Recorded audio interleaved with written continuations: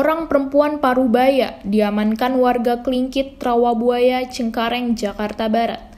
Wanita ini diamankan warga karena tidak mau membayar transaksi jual beli online di salah satu konter handphone. Sri perempuan parubaya, warga Bojoraya, Rawabuaya, Jakarta Barat, diamankan warga di lokasi konter handphone di Jalan Klingkit Raya, Rawabuaya, Cengkareng, Jakarta Barat pagi tadi diamankan warga karena tidak mau membayar usai melakukan transaksi pengiriman uang di konter handphone di lokasi. Kejadian berawal dari pelaku yang datang ke konter handphone guna menanyakan apakah konter tersebut bisa melakukan pembayaran virtual account, di mana karyawan konter handphone tersebut melayani pelaku dengan melakukan transaksi virtual account. Transaksi pembayaran virtual account yang pertama pun berhasil, sebesar 5 juta 2000. Lalu pelaku meminta untuk melakukan pembayaran kembali sebesar 5 juta 2000. Transaksi kedua pun berhasil.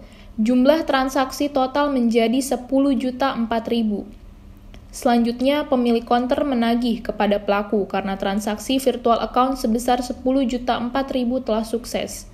Namun, pelaku yang ditagi oleh pihak konter tidak mau membayar dan berusaha melarikan diri, sampai akhirnya warga beramai-ramai mengamankan pelaku. Uh, dia itu kayak pembayaran online, uh. jadi lewat Tokopedia. Uh.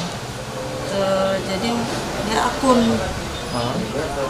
yang tadi sih yang transaksi sih anak buah saya. Uh. Jadi kirain saya itu transaksi kayak bayar listrik soalnya kan bawa buku kan ibunya. Kirain saya bayar listriknya banyak. Saya tanyain tuh panggil-panggil sama anak mas saya. Tapi nggak nyautin. Terus saya sambil mundar mandir juga saya liatin tuh transaksi apa. Sampai dua kali saya panggil dia nggak nyautin. Jadi saya itu aja gertak dia tuh. Transaksi apa sih? Saya lihat tuh uh, buktinya kan ternyata ada pembayaran kayak gini. Terus saya stop.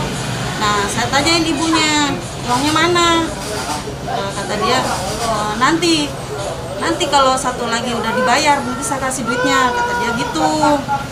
Cuman tetap saya nggak mau soalnya kalau udah transaksi itu harus kita terima uang dulu seharusnya sebelumnya. Kita transaksi itu harus terima uang ternyata uh, anak buah saya nggak nggak terima dulu jadi, nominalnya berapa bu? Nominalnya uh, satu transaksi itu 5 juta seribu. Ini udah ada berapa transaksi ya? Dua kali.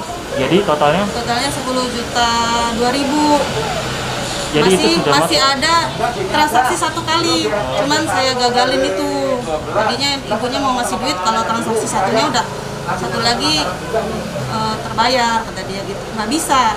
Soalnya ini udah dua kali transaksi tapi ibu belum ngasih duit kata saya gitu. Jadi ibu yang satu lagi aja kata dia gitu. Nggak bisa tetap harus uangnya dulu saya terima baru transaksi yang lain kata saya gitu bilang gitu. Tapi dia nggak mau. Terus dia malah mau pergi. Ya, jadi jadi saya tahan tuh ibunya di sini. Jadi yang di transaksi transaksi apa bu? online atau beli? Uh, transaksi online itu lewat Tokopedia. Tokopedia. Ya. Dia membeli... di, di situ juga ada keterangannya Tokopedia uh, dengan no, akun sekian nomor handphonenya ada ada keterangannya di di uh, store-nya itu. Jadi ibu mengalami kerugian berapa bu? Kalau mengalami kerugian cuma 10 juta 2000 sih. Barang bukti pembayaran virtual account dan pelaku dibawa ke kantor polisi guna menjalani rangkaian proses pemeriksaan lebih lanjut. Kasusnya kini ditangani Unit Reskrim Polsek Cengkareng.